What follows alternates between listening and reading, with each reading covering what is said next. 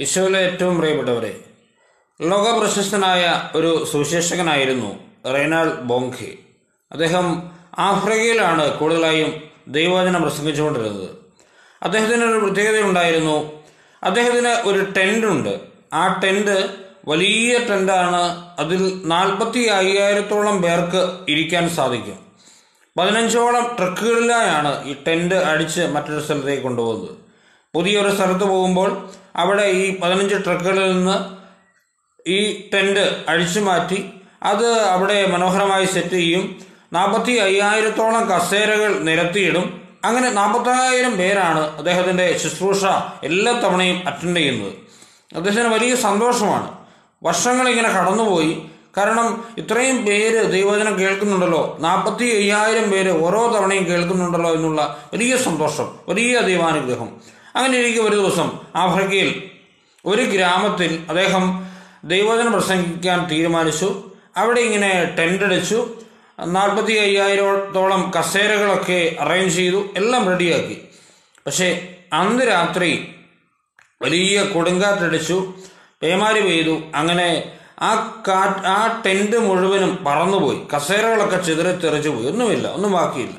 രാവിലെ എണ്ണീറ്റപ്പം ബോങ്കയും ടീം അംഗങ്ങളും അത്ഭുതപ്പെട്ടു. ഒന്നുമില്ല. എല്ലാം നിശേഷം നിശ്ചയിക്കപ്പെട്ടിരിക്കുന്നു ടീം അംഗങ്ങളൊക്കെ ബൊങ്കയോട് പറഞ്ഞു മിക്കവാറും ഇത് പിശാശിന പണിയാണ്.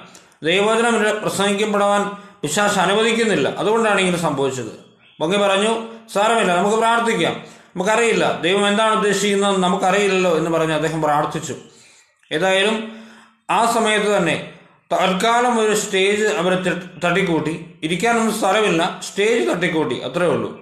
വൈകുന്നേരമായപ്പോഴേക്കും കൺവെൻഷൻ സമയമായപ്പോഴേക്കും ആളുകൾ പല സ്ഥലത്തു നിന്നും ഒഴുകി തുടങ്ങി. ഈ നാൽപ്പത്തയ്യായിരം കഴിഞ്ഞു അമ്പതിനായിരം കഴിഞ്ഞു ഒരു ലക്ഷം കഴിഞ്ഞു. ഏതാണ്ട് രണ്ട് ലക്ഷത്തോളം പേരാണ് ബൊങ്കയുടെ അന്നത്തെ പ്രസംഗം ശ്രവിച്ചത്. ബൊങ്കയ്ക്ക് വലിയ സന്തോഷമായി. ഈ രണ്ട് ലക്ഷം പിന്നെ കൂടി തൊട്ടടുത്ത തവണ അഞ്ച് ലക്ഷമായി. അതങ്ങനെ വർദ്ധിച്ചുകൊണ്ടിരുന്നു. അങ്ങനെ ഇരിക്കും ഒരു ദിവസം ദൈവത്തിന്റെ ആത്മാവ് ബൊങ്കയോട് സംസാരിച്ചു. അദ്ദേഹത്തോട് പറഞ്ഞു നീ നാൽപ്പത്തി അയ്യായിരം പേര് സുവിശേഷം പ്രസംഗിച്ചു എന്നത് നല്ലത് തന്നെ. പക്ഷെ ആ ടെന്റിന്റെ സുരക്ഷിതത്വത്തിൽ നീ എന്നും മുൻപോട്ട് പോവുകയാണെങ്കിൽ നിനക്ക് എന്നും ഈ നാൽപ്പത്തി അയ്യായിരത്തിൽ നിൽക്കേണ്ടി വരും. പക്ഷെ നിന്റെ ജീവിതത്തിൽ നിന്ന് ആ ഒരു ടെന്റ് ഞാൻ എടുത്തു മാറ്റിയത് കൊണ്ടാണ് ഈ അഞ്ചു ലക്ഷം പേരിൽ വലിയ ജനക്കൂട്ടത്തോട് നിനക്ക് സുവിശേഷം പ്രസംഗിക്കാൻ സാധിക്കുന്നത്. അത് പൊങ്ങയ്ക്ക് വലിയൊരു തിരിച്ചറിവായിരുന്നു. പ്രിയപ്പെട്ട സഹോദരങ്ങളെ എന്നെ കേൾക്കുന്ന പ്രിയപ്പെട്ടവരെ നമുക്ക് ഇങ്ങനെ ഒരു തിരിച്ചറിവ് ഉണ്ടാകണം പക്ഷേ നമ്മുടെ ജീവിതത്തിൽ നമ്മൾ ചില സുരക്ഷിതത്വത്തിന്റെ ടെന്റുകൾ അടിച്ചിട്ടുണ്ടാകും അത് ദൈവം ചിലപ്പോൾ ചെതറിക്കും. പക്ഷെ ആ ചെതറിക്കുന്നത് കൂടുതൽ നന്മ നമുക്ക് തരാൻ വേണ്ടിയാണ്. നമുക്ക് വിശ്വസിക്കാം. കാരണം ദൈവത്തിന്റെ ചിന്തകൾ നമ്മുടെ ചിന്തകൾ പോലെയല്ല.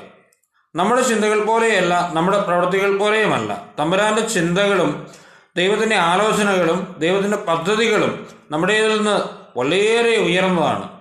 ആ ഒരു പദ്ധതിക്ക് ആ ഒരു പ്ലാനിന് പൂർണ മനസ്സോടെ സമർപ്പിക്കുന്ന ഒരു മനുഷ്യനും ജീവിതത്തിൽ നിരാശയുണ്ടാവില്ല.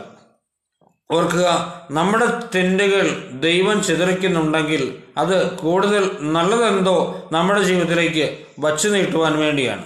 ദൈവം അനുഗ്രഹിക്കട്ടെ. നമ്മുടെ കർത്താവിശ്വം മിശിക്കാട് കൃപയും പിതാവായ ദൈവത്തിന്റെ സ്നേഹവും പരിശുദ്ധാത്മയുടെ സഹവാസവും നാം എല്ലാവരുടെ കൂടെ ഉണ്ടായിരിക്കട്ടെ. ഇപ്പോഴും എപ്പോഴും എന്നേക്കും. ആമേ